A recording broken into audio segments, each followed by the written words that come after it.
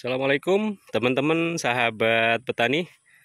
Kali ini saya sedang berada di tengah-tengah kebun rampai. Ini rampai cherry ya atau cung kalau ada yang menyebutnya.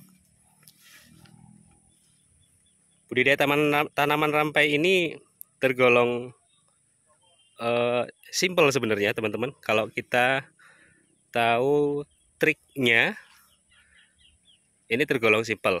Dan kali ini saya akan coba bagikan kepada teman-teman uh, rahasia membudidayakan tanaman rampai yang dalam penerapan di lahan ini ini tanpa melalui proses pengocoran. Jadi sistemnya adalah uh, pemberian pupuk dasar dan kemudian uh, penimbunan pada tiap-tiap bedengan. Nah, bagaimana teknisnya? Yuk saya coba bagikan triknya buat teman-teman. Semoga tayangan kami kali ini bermanfaat.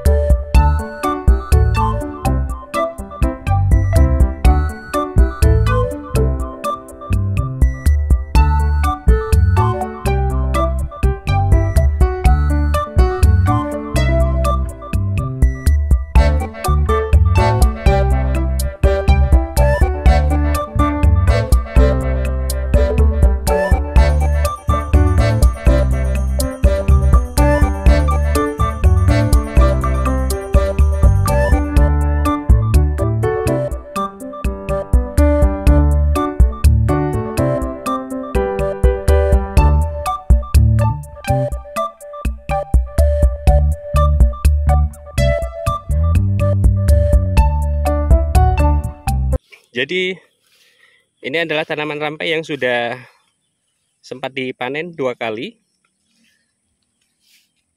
Dan ini nanti menjelang pemanenan yang ketiga. Pertumbuhannya cukup bagus. Ini udah lebih dari satu meter tingginya.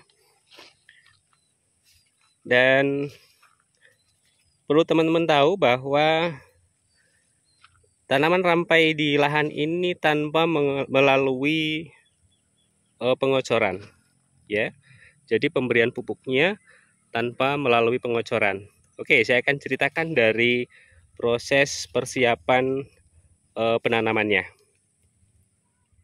Nah, jadi teman-teman, dari persiapan lahan yang pertama, ya, ini kita menyiapkan pupuk dasar. Ya ini berupa kohe ayam yang sudah difermentasi ya. Kemudian eh, kohe ayam itu kita campurkan dengan TSP kemudian NPK 1515 dan dolomit. Jadi takarannya TSP 50 kg kemudian NPK 1515 25 kg dan dolomitnya 50 kg itu diaduk dengan campuran kohe ayam tadi. Kemudian di bisa ditaburkan atau bisa juga dengan cara ditugal di tiap-tiap lubang yang akan kita tanam ya. Jadi di tiap-tiap pangkal seperti ini lubang tanamnya kita taburkan di situ.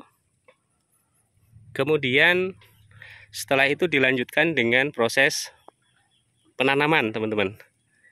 Ya, proses penanaman. Nah, setelah pertumbuhan tanaman rampai ini kurang lebih setengah meter atau 50 cm kemudian kita berikan lagi pupuk kimia seperti yang tadi sudah saya sebutkan TSP kemudian NPK 1515 dan dolomit dengan takaran 50 25 50 itu ditaburkan di pangkal-pangkal tanaman. Nah setelah ditabur dengan pupuk teman-teman kemudian bedengan ini kita timbun ya menggunakan tanah dari yang diambil dari siringnya. Tujuannya adalah untuk menimbun uh, pupuk yang sudah ditaburkan.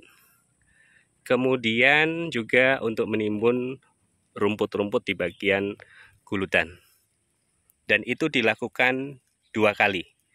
Paling tidak itu di usia tanaman rampai ini sekitar usia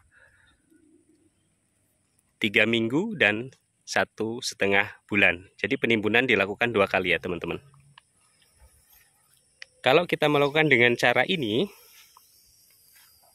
budidaya tanaman rampai itu kita tidak perlu lagi melakukan yang namanya pengocoran pupuk. Selebihnya adalah eh, pemasangan ajir dan juga tali. Kemudian penyemprotan rutin. Nah, ini mungkin bisa teman-teman coba praktekkan. Caranya sangat praktis tanpa melalui pengocoran. Nah, untuk penyemprotannya, teman-teman, kita bisa gunakan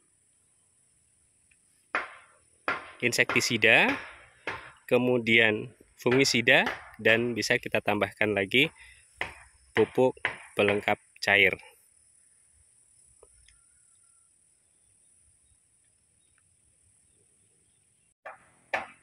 Oke, jadi seperti itu ya teman-teman dalam membudidayakan tanaman rampai. Dan ini cara yang saya sampaikan tadi, ini bisa kita lakukan pada budidaya tanaman rampai di lahan yang tidak menggunakan mulsa sehingga kita bisa melakukan e, dua kali penimbunan dengan penambahan pupuk yang sudah saya sebutkan tadi.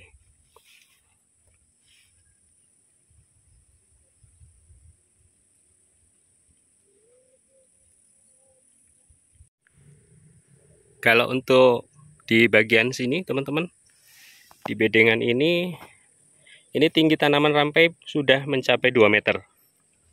Nah ini. Jadi sudah melebihi uh, ajir atau lanjaran. Dan buahnya cukup lebat ya.